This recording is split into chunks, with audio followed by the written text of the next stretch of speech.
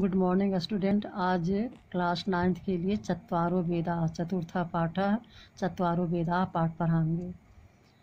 भारतवर्ष सांस्कृतिक निधिषु वेदा प्रधान पदम धारयंती भारतवर्ष के सांस्कृतिक निधि में अर्थात सांस्कृतिक भंडार, निधि का अर्थ है भंडार या खजाना, सांस्कृतिक खजाना जो है, वह वेद का प्रधान पद को धारण करता है।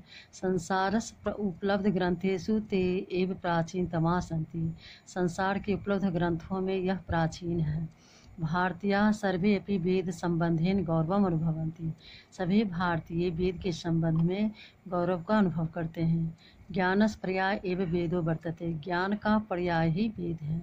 शास्त्राणी वेद नाम उधरने स सिद्धांतान प्रतिपादयंती शास्त्रों के वेद, नाम उदाहरण संरचना और अपने सिद्धांतों को प्रतिपादित करते हैं। प्रस्तुत पाठ में चतुरानाम वेदानाम स्वरूपम मुख्यम च प्रतिपादन दर्शितम अस्ति।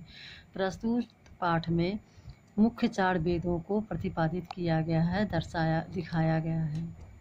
अस्माकं प्राचीना संस्कृति वेदेशु सुरक्षिता वर्तते।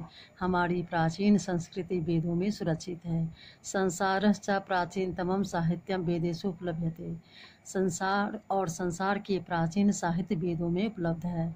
सत सिंधु प्रदेश निपसंता ऋष्य तात्काल तत्कालिकम सर्वम ज्ञानम वेद रूपम धार्यम सब सिंधु प्रदेश में रहने वाले ऋषि तत्कालिक सभी ज्ञान को वेद रूप में धारण करते हैं। विशेष तो यज्ञ संचालना एक सभी वेद चतवारी रूपानी कीर्तानी आसन। विशेषकर यज्ञ चलाने के लिए एक ही वेद के चार रूप किए गए थे। अतीब चतवारो वेदा इति परंपरा प्रवृत्ता, इसलिए चारों वेद ही परंपरा से प्रचलित है। ते च वेदा वे सभी वेद हैं। ऋग्वेद, यजुर्वेद, सामवेद अथर्वेद इति संति। वे सभी वेद हैं। ऋग्वेद, यजुर्वेद, सामवेद और अथर्वेद ऋग्वेद प्राचीन तमान मंत्रान धारियते। ऋग्वेद प्राचीन मंत्रों को धारण करते हैं। अतएव इतिहास विद्वांस तस् महत्व नितराम मनते इसलिए इतिहास, इतिहासज्ञ, इतिहास को जानने वाले विद्वान उनके महत्व को अधिक मानते हैं।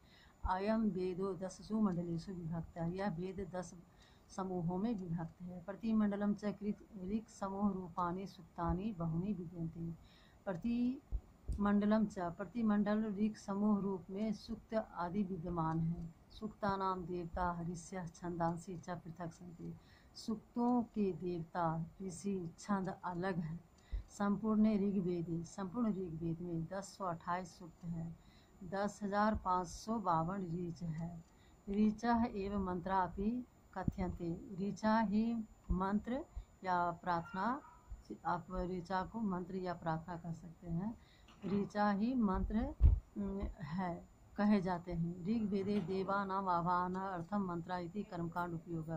ऋग्वेद में देवताओं को बुलाने का मंत्र और कर्मकांड का उपयोग है। यजुर्वेद यजुर्वेद शुक्ल कृष्ण रूपेण द्विविधा। यजुर्वेद में शुक्ल और कृष्ण दो प्रकार के हैं। प्रायेण शुक्ल यजुर्वेद एवं उत्तर भारतीय प्रचलित।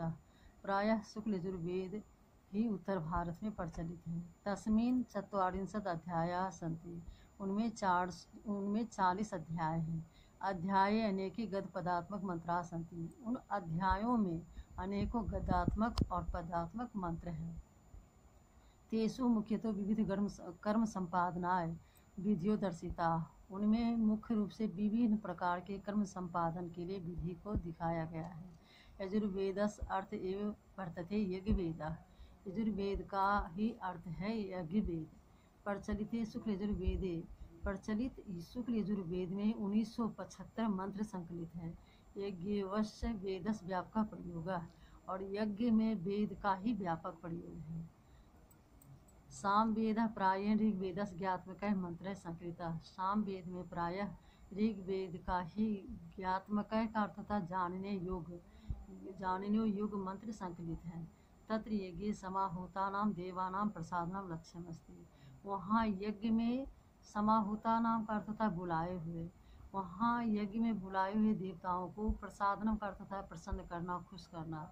वहाँ यज्ञ में बुलाए हुए देवताओं को प्रसन्न करने का लक्ष्य है। प्रसादनम च गाने भवती और खुश करना गान से होता है। अतीब साम वेदस गायका उद्गातारा कथ्यते। इसलिए साम वेद के गायक को गाने योग्य या उद्गार कहे जाते हैं। भारतीय संगीतम साम वेद एव प्रारंभ होते भारतीय संगीत साम वेद से ही प्रारंभ होते हैं। साम वेदे साम वेद में 1875 मंत्र हैं। साम वेद पूर्वार्चिका, उत्तरार्चिका भाव्यो विभक्ता साम वेद पूर्वार्चिक और उत्तरार्चिक भागों में विभक्त है।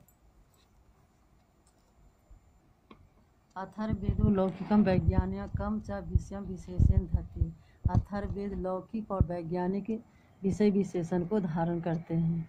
अयम विंशति कांडेशु विभक्त है। यह बीस कांडों में विभक्त है। प्रति कांडम च सुक्तानी वर्तनते। प्रति कांड में सुक्त है सुक्तेषु च ऋग्वेद वत्स मंत्रा संति। सुक्तों में ऋग्वेद के समान मंत्र है। संपूर्ण अथर्वेदे। संपूर्ण अथर्वेद में दस, सात सौ तीस सुक्त है। पाँच हज़ार नौ सौ सतासी मंत्र हैं। अत्र द्वादशे कांडे भूमि सुक्तम वर्तते। यहाँ बारहवें कांड में भूमि सुक्त है। यत्र मातृभूमि स्तुति विस्तारण कृता जहाँ मातृभूमि का मातृभूमि की स्तुति विस्तार से किया गया है। एते एव सर्वे वेदा मंत्राणाम संकलन त्वेन संहिता। ये सभी वेद मंत्रों का संग्रह ही संहिता कहा गया है, या संहिता कहे जाते हैं। तदंतरम वे, तद तद व्याख्या रूपाणी ब्रह्मणानी बहुनी वर्तनते कर्म कांड परानी उसके बाद वह व्याख्या रूप ब्राह्मणों के अनेकों कर्म कांड में है। दार्शनिक चिंतन परानी अनन्य कहानी दार्शनिक चिंतन युक्त अरण्यकानी ग्रंथ शुद्ध दर्शन परा, शुद्ध शुद्ध दर्शन युक्त उपनिषद च विकसती, उपनिषद भी विकसित किए गए हैं। सर्वे अपि एते, ये सभी वेद संहिता नाम वेद संहिताओं में अलग, पृथक पृथक संति अलग अलग किए गए हैं। अपि च और भी वेद नाम अंग रूपेण वेद नाम का, वेद अंग नाम रूप, के रूप में शिक्षा, कल्प, व्याकरण, विनरुक्त छंद, ज्योतिष, ये सभी वेद के अंग हैं, जो साहित्य में अधिक प्रस्तुत किए गए हैं। सर्वम इदम मिलित्वा, यह सभी मिलकर विशालम वैदिकम साहित्यमिति वर्तते। विशाल वैदिक साहित्य के रूप में है। धन्यवाद।